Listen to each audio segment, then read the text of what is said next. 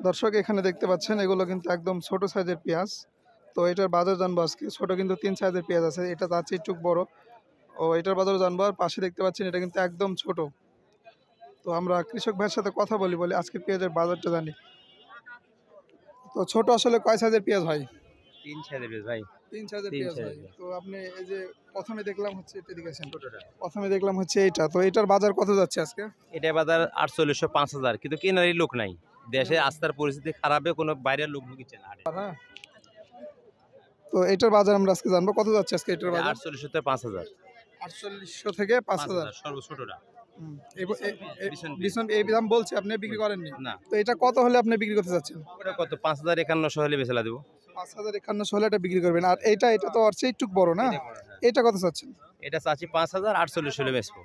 পাঁচ হাজার চাচ্ছেন এটা না? হ্যাঁ। আর পাশে এটা যেটা একদম ছোট সেটা বাজার কত যাচ্ছে? এটা পাঁচ হাজার বাহান্নশোই বাজার। পাঁচ হাজার বাহান্নশো বাজার। কম বেশি সেম সেম একই দাম। কিনার লোক কম।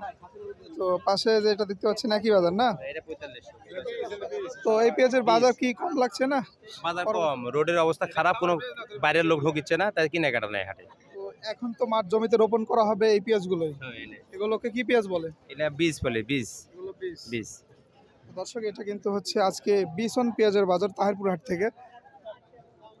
তো আমরা বড় পেঁয়াজের বাজারটা জানি আসলে কত যাচ্ছে আজকে বড় পেঁয়াজের বাজার দেখতেই থাকুন। দর্শক আমরা এখানে দেখতে পাচ্ছি এটা হচ্ছে বড় সাইজের পেঁয়াজ দেখতে পাচ্ছেন তো বড় বাজারটা জানব। আচ্ছা কত যাচ্ছে আজকে বড় পেঁয়াজের বাজার? বাবা দুইশো দশ টাকা দিছে। দুইশো? বিয়াল্লিশশো দশ। দর্শক এটা কিন্তু বিয়াল্লিশশো দশ হয়েছে। আর পাশে দেখতে পাশে দেখতে পাচ্ছি এটা হচ্ছে মাঝারি। মাঝারি বাজার কত যাচ্ছে আজকে? তো এটা বিক্রি করেনি কেন দর্শক এই ছিল কিন্তু তাহারপুর হাট থেকে আজকের সর্বশেষ পেঁয়াজের বাজার। পরবর্তী পেঁয়াজের বাজার জানতে অবশ্যই আমার কৃষি চ্যানেলটি সাবস্ক্রাইব করুন। দেখা হবে পরবর্তী ভিডিওতে।